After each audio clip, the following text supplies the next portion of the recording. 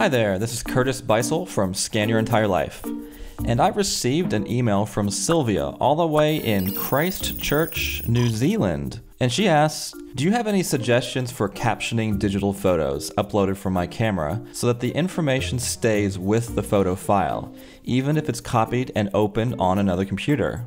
I've found that the captions I've created in Picasa can only be viewed in Picasa on the PC on which they were created.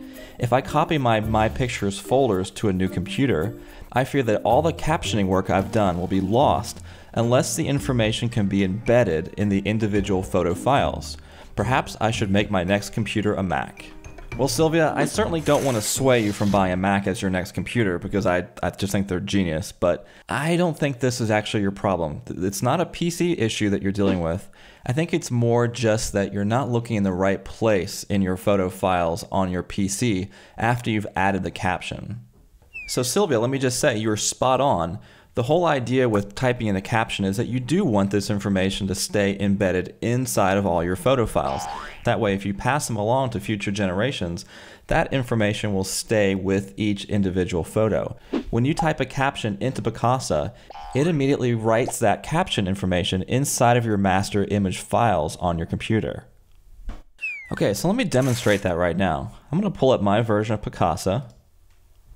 And this is a pretty empty Picasa library file. I have it managing just one folder, which is my pictures folder. And in there, I just have a single scanned photo that I have as an example. So I'm going to double click here on the image. And you'll notice down here, I don't have a caption typed in for this image yet.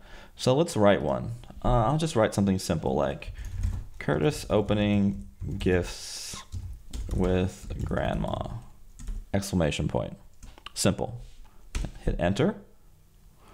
And now the question is, is this information written into the master image file? So what we're going to do is we're going to load up the version here of Windows Explorer or File Explorer. And we're going to go to my pictures folder. And here is the photo right here.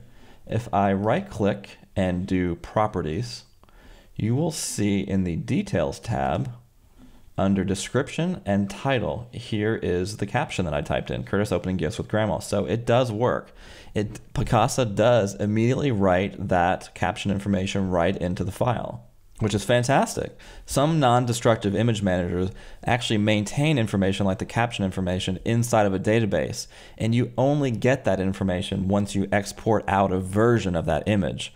But Picasa doesn't seem to work that way. It's an immediate saving feature. Now, the thing about this caption information is it's written in a type of metadata called IPTC. And this standard metadata isn't available to all applications. I mean, it is available, but not all applications are written so that you can view this metadata. I actually have another program on my computer here that can view this IPTC metadata. So I'm going to load it up right here, and it's called PhotoME. There we go. So I'm going to load this up and it's kind of hard to see here, isn't it? So I'm going to minimize uh, some of this stuff here. There we go. And minimize that as well. So I'm going to go into PhotoME. I'm going to do Open File. And what is this? Close this here as well.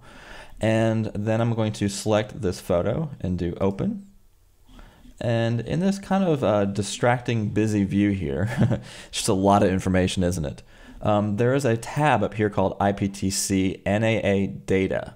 If I click right here, you'll see down here in the field column under caption description, it also displays this caption information that I typed in in Picasa. So Sylvia, I think you're good. I mean, what this means is that you can copy your My Pictures folder to any computer you like, and this IPTC caption information will stay with your photos. It just means that you or anyone else who'd like to view your caption information your photos will need to make sure they're using a program that's written to access this caption information. If you found this information helpful and you're serious about your digital photo collection, I would encourage you to come to my website and sign up for my mailing list. You'll start to receive my free informational email series on the best ways to organize and share your digital as well as your scanned print and slide collections. Remember, I'm here to help.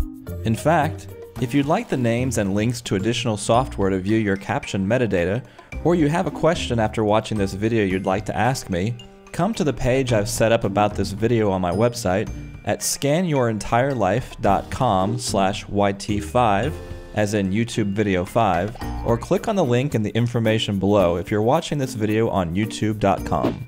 Alright, take care, cheers.